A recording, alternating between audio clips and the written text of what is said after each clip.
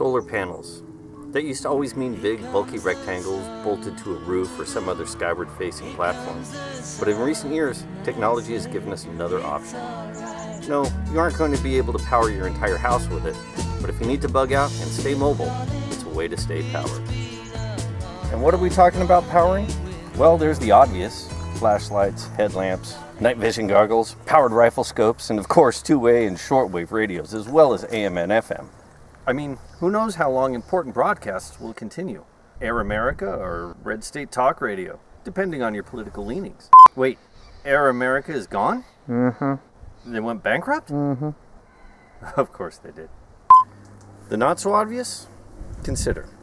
In the era of the internet, virtually the entire catalog of human knowledge from the dawn of history is accessible to anyone with a computer. And most people use it to look at funny cat videos and argue with strangers. Your videos suck. But while it's a foregone conclusion that by day 35, the internet will have ceased to exist, the digital age has also given us the ability to store relatively massive amounts of information in very small spaces. An entire library's worth of survival guides, encyclopedias of edible plants, how to clean a kill, medical books, maps, DIY and how-to manuals, like those detailed plans of how to build that gasifier engine, or a mini Pelton wheel electrical generator, can all be downloaded and kept in a space no larger than this. Beats trying to carry all those books, and save space for other necessities, like bullets. The upshot, like your night vision goggles and red dot scope, you need to be able to power an e-reader, tablet, phone, whatever you have. Since carrying a crapload of batteries isn't very efficient, that is where mini solar comes in.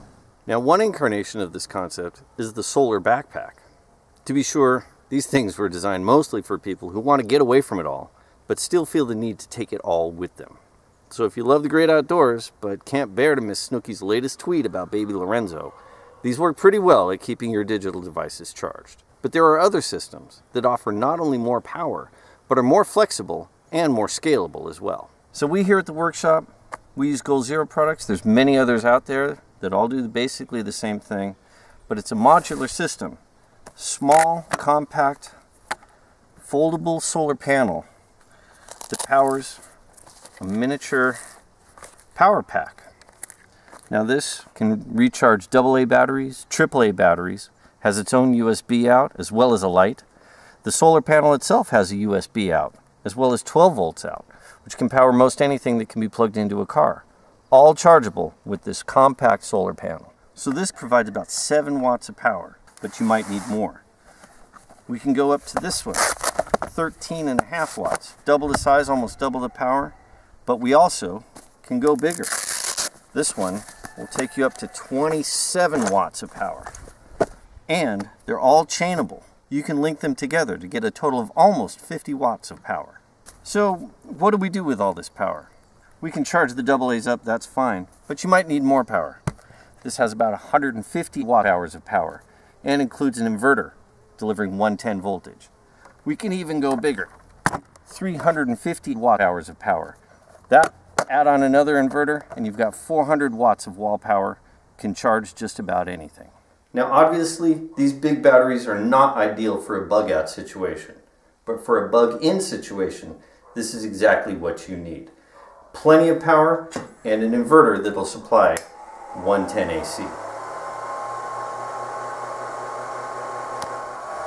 Now when it comes to lighting, AC power off a 12 volt DC battery is not the way to go. The inverter, terribly inefficient. What you want to do is shut that off and use 12 volt DC power and LED lighting.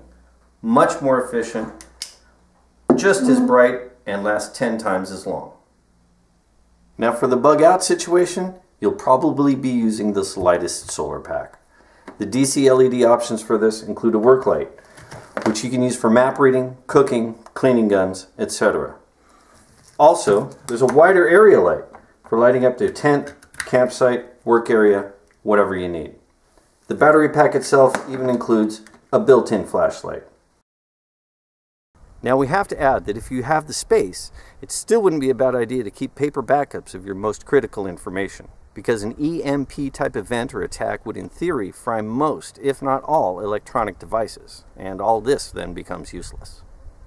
Truth be told, there are no foolproof solutions. But who knows how it will all go down, or which tools will turn out to be the most valuable. Best bet is to have as many tools in your zombie apocalypse survival toolbox as you possibly can.